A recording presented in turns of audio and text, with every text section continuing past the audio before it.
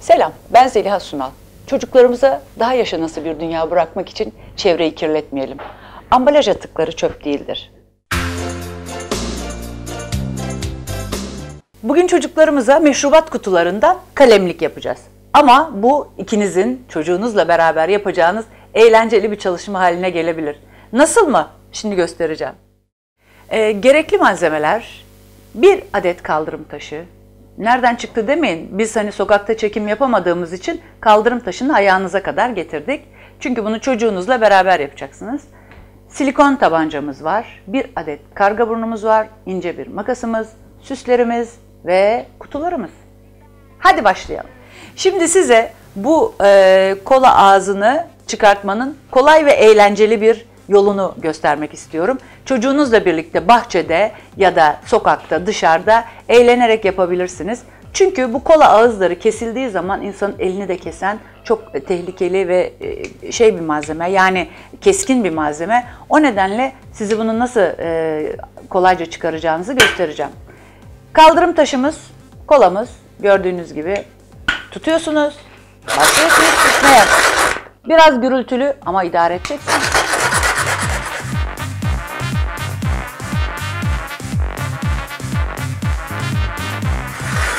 Ne zamana kadar onu da söyleyelim. Şimdi bu e, yaptığımız iş bunun kenarını eritmek ve bunun kenarındaki e, iki çizgi haline gelişini görünceye kadar yani kenardaki ağzına ulaşıncaya kadar biz bunu sürtmeye devam edeceğiz.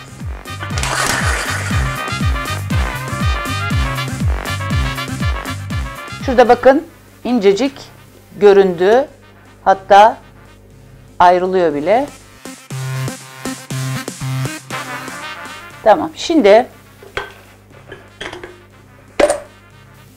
pam pam pam pam para param pam pam tertemiz. Gördüğünüz gibi hiçbir şey yok. Pırıl pırıl pırıl pırıl. Ağızlarını çıkardım. Fakat bu ikisini makasla keseceğim. Çünkü bunlarla e, kalemliğimizin ataç e, ve hani o silgi benzeri şeyleri koyması için çocuğumuza daha yatay bir malzeme yapmak istiyorum. O yüzden bunu önce ağzını keselim.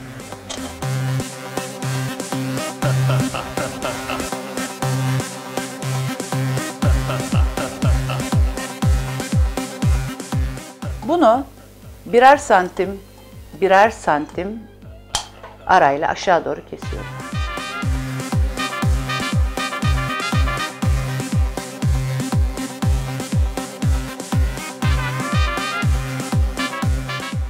Şimdi bunu da kesiyorum.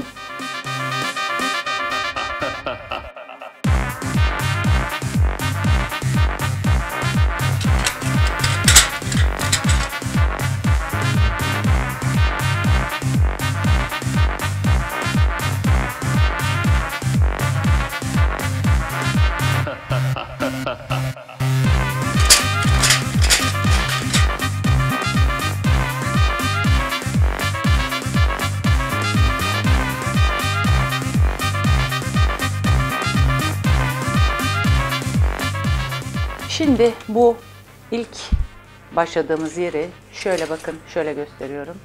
Kıvırıyoruz. Tam şunun hizasına gelecek şekilde şunun, bunun gösteriyorum. Bir, iki atlıyoruz. Tekrar getiriyoruz. Bir, iki. Buralarını böyle güzelce bastırıyoruz.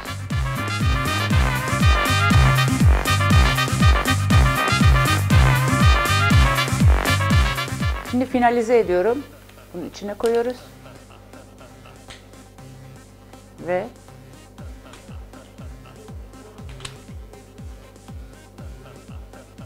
bunun içine koyuyoruz.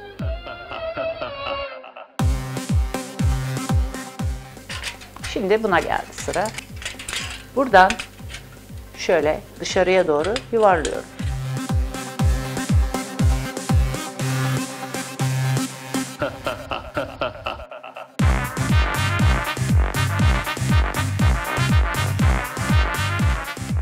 Bunları birleştiriyorum.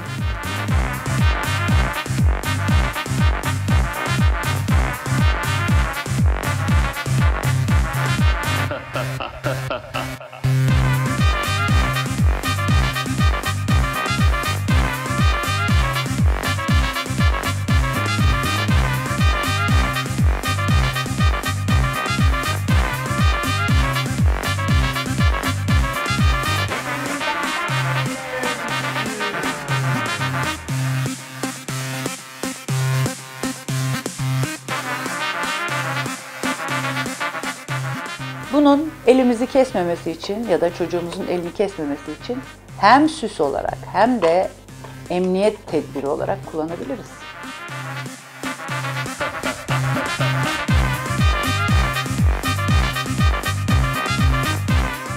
Şimdi e, bu gördüğünüz malzemeleri nereye yerleştirmemiz gerektiğine e, gerektiğini düşündüm ve elimde böyle bir keçe parçası vardı. Ben de bunları bunun üzerine yerleştirmeye karar verdim.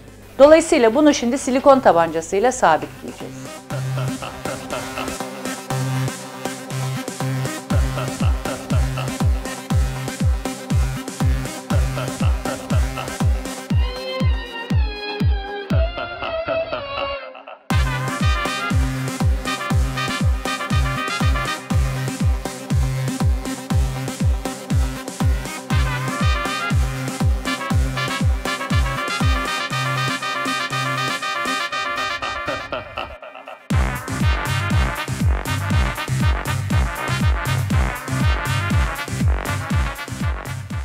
İşte şık kalemliğimiz hazır. Çocuklarınızla hem eğlendiniz hem yaptınız. Ne güzel.